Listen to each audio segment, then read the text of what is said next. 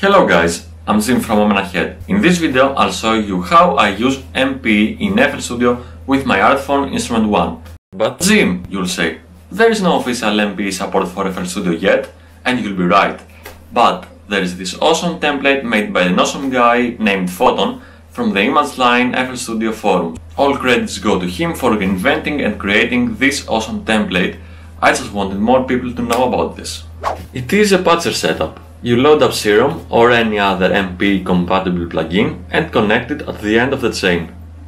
Set the port to 1, same number as your controller.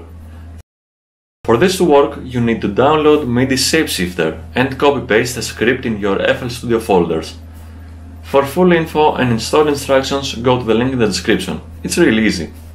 In Serum here, I have set up the filter cutoff, or any other knob you want, to be modulated by the MPE Y timbre or CC74 or brightness and each node has its own filter modulation.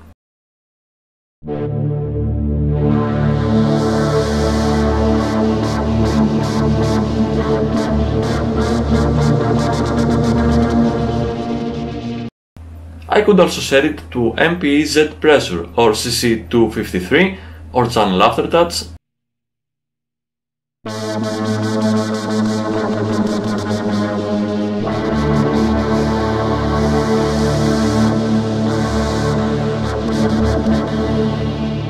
sure MPE is enabled in Serum. On instrument 1 you can access MPE Y timbre in the bow method and it's how much pressure you apply to the plucking pads, while MPE Z pressure is the pressure you apply to the frets themselves and it is there in all instrument 1 methods. Also, each note has its own pitch bend, MPE-X, so you can do stuff like opposite slides as well.